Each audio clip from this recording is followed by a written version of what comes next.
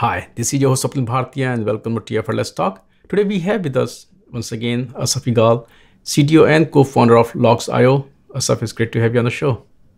Hey, great to be here. Thanks for having me. Today we are going to talk about AI and observability. But before we talk about AI and observability, I would just like to hear, you know, from from your perspective, when we look at Logz.io, uh, talk a bit about your positioning, your role in this ever evolving landscape of observability? The way we view it is that uh, observability today and what used to be called APM in the past is, is broken. Uh, people are collecting too much data. Uh, the, the solutions are too costly, and uh, at, the, the end of the day, the the mean time to resolution just increases as, and increases as complexity of the system grow. Uh, we we view it as a, as a systematic challenge, not only from a technology perspective, but also from a processes perspective, from the way organizations are being managed. Uh, and uh, instead of like setting up specific guidelines of what should you uh, have in observability, they just throw everything in it at it and say, hey, we'll make sense out of it at some point. Uh, a lot of it has been contributed with traditional uh, vendors of observability that their messaging was, give us all your data, we're going to make sense out of it. Um, but that turned out to be very costly and not really accurate because they couldn't make sense out of it.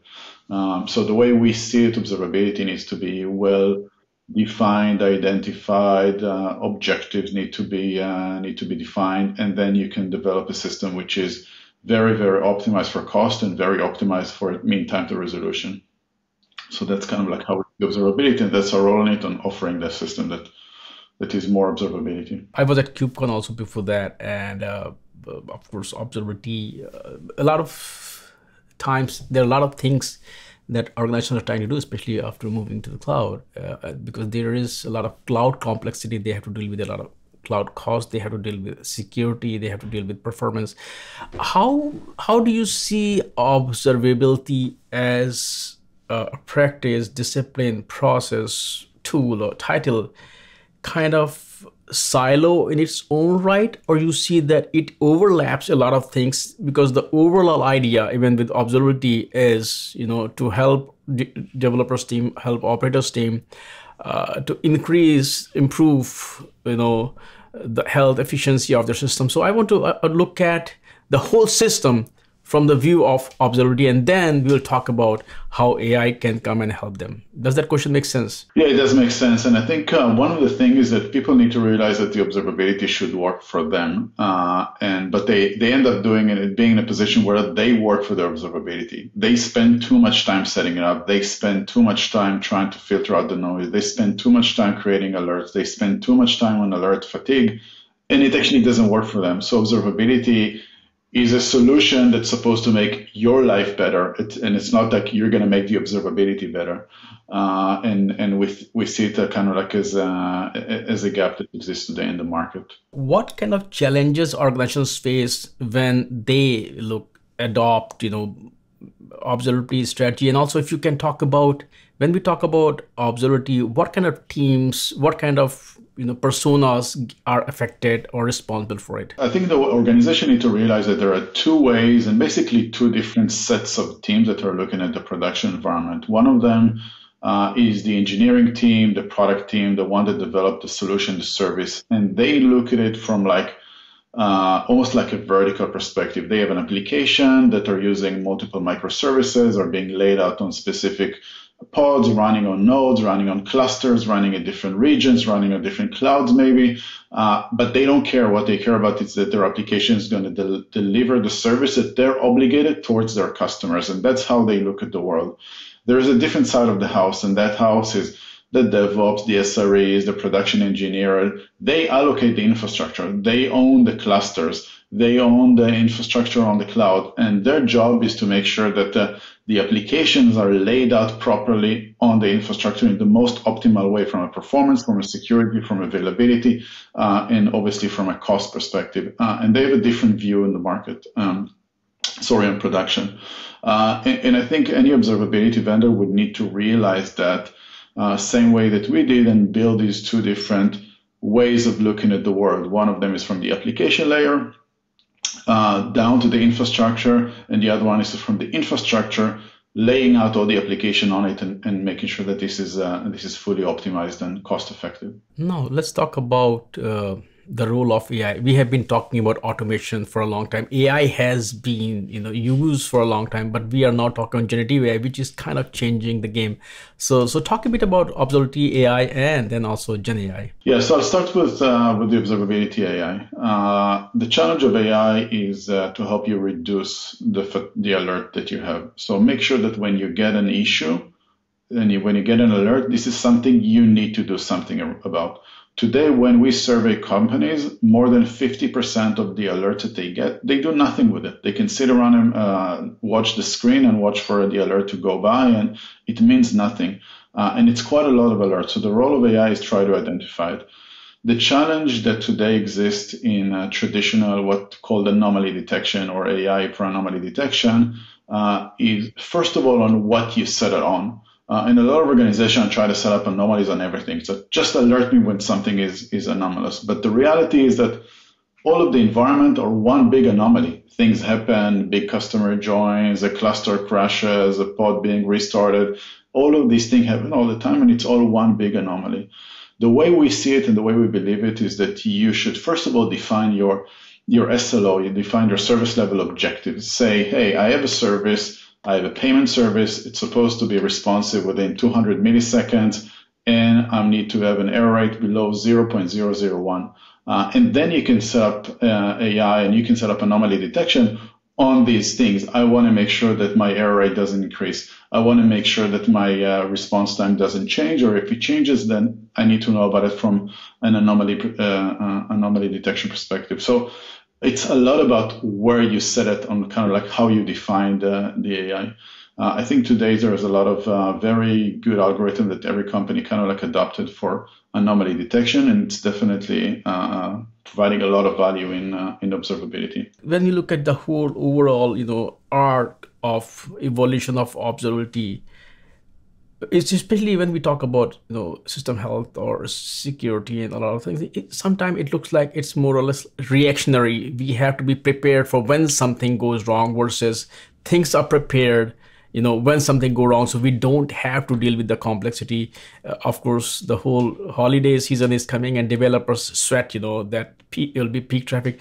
So so are you seeing something where uh, like a good example is that you know in the cars you know of course there are things like you know airbags which is when something goes wrong but then there are a lot of other system in the car as well that helps you stay you know traction control and a lot of things that fix things before something goes wrong. So how are you seeing observability here or you feel like hey this is still out of the scope at least at this point? No i think it's definitely in scope for this point and i think this is where a lot of the ai today is being used if it if it's defined properly uh, and like in a car, you're not setting up alerts on any movement your engine is making. Uh, you're just setting up alert on on car proximity. You're setting up alert on if you change a lane and you didn't uh, you didn't mean to change that lane. So there are very few things in a car where you set up alerts uh, to notify you on. Uh, and, and I think this is very similar to to kind of like observability. You need to you need to pick your battles. You cannot set up alerts and everything, and not everything can be top priority. Uh, and, and, we do see being used properly, AI dramatically reduces the alert fatigue. Uh, being used not properly, it creates a lot more noise than it should. Um, so it's a lot about the usage of it. It's it's less about kind of like the specific algorithms, which today are very uh, well known and commonly used. Talk a bit about the role of generative AI that you see in observability. I think it's a good question, and uh, I think generative AI, obviously, since the debut of uh, of uh, ChatGPT, made a lot of noise, and uh, and definitely it's it's becoming very very helpful for for organization to use. We also have to understand the limitation of generative AI, uh, and some of the limitations of generative AI is the model takes a long time to train it's reliant on all data. So you cannot use generative AI to see what's going on in my system today because it was trained like on a year ago or something like that. Uh, on the other hand, it can process a lot, a lot of information. and give you all the right answers that you need. So some of the ways that we we're using generative AI, and I think other companies in the observability space as well are, is how can I help uh, users achieve their tasks uh, in a simpler and quicker way. If a user wanted to search, how can I help him search in a more meaningful way, in a quicker way? Because I know the search format, the generative AI knows the search format. Instead of searching in SQL or Lucene or whatever language I have, I can just search in plain English. Give me all the servers that had the most amount of errors in the past two hours. This is something that generative AI does an amazing job on converting into any other uh, uh, question that you have. The other thing is that we know, which is a limitation and a challenge for organizations, how do I create dashboards and visualizations? How do I create alerts that are meaningful? Uh, if you need to create a meaningful alert, it can have a lot of steps and uh, and one of the things that uh, generative AI can do is help identify that and help create sophisticated alerts that would give you the condition that you need. So so this is something that uh, that that we see generative AI being used in the observability space. I think a lot of companies are one idea is like they can add all of their documentation and all of the way of data collection into generative AI, and then you can ask a question about it because you're just completing the model. Uh, we're seeing that type of usage within observability, and obviously in the future we would see companies actually indexing or leveraging generative AI with their actual production data in order to ask more sophisticated questions and, and achieve the answer quicker. And how do you see the scope of generative AI? Is it limited to just providing that information, or at some point it will also actually enable taking some actions? I talk to a lot of companies who are leveraging generative AI and they are putting them in the product. And they're like, yes, generative AI can do a lot of work, but you still need human intervention there. Uh, you, you can't fully depend or rely on generative AI at this point? I think it's less about the trust. I think it does an amazing job for things that you want. And if you use ChatGPT, I mean, you know that it's that the answers are pretty much accurate. I think the challenge is with data accuracy, the, the, the, the timeliness of the data. So am I asking a question and I'm going to get the answer that was true a year ago or two years ago, whenever the model was trained? And this is why you need some oversight. Um, uh, so I think if you use it in the right way, then you can achieve a lot with it. Uh, if you're trying to make it do something which is not supposed to do, then it's going to be very challenging uh, to achieve that. A few weeks ago, the Biden administration they came up with an executive order for AI, generative AI, to make it safer for people. Uh, have you seen that executor, and what are your thoughts on that? Uh, yeah, I think that obviously there's a lot of uh, challenges with generative AI. Some of it is uh, it has to do, for example, with the intellectual property. Um, so so uh, capabilities like Copilot and other capabilities that are actually writing code for you. It's like you don't know who who is the IP that is responsible for this code. It's like generate generate from something, but it actually copied it from somewhere else or co- cobbled it together from somewhere else. So there's going to be a lot of uh, uh, challenges with like this. We also see it in the, I think in the US, there's been a case where uh, a lawyer was using generative AI in, in from as a trial arguments and uh, generative AI brought up cases that did not never existed. So part of generative AI is also to try a new thing, and that's the way to learn because it's not only leveraging the existing knowledge base, it's also improvising in a way. Uh, and that improvisation can be can be good from creativity perspective, but it also can be challenging uh, uh from that perspective. Uh, there's, I think we're this is this is uh, this is a revolution. What's happening with generative AI? I think we're going to see more and more into it in other industry, whether it's the legal, whether it's the the, the movie entry um, um, domain and stuff like that. And it's going to create some challenges, but it's also going to create some opportunities.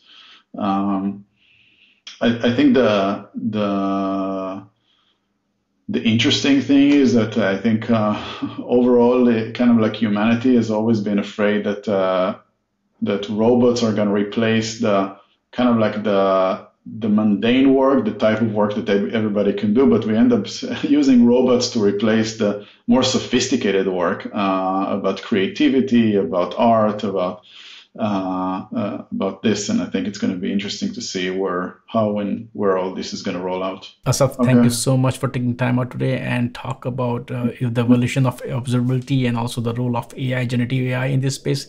Thanks for all those great insights, and I would love to have you back on the show. Thank you. Thank you very much. Thanks.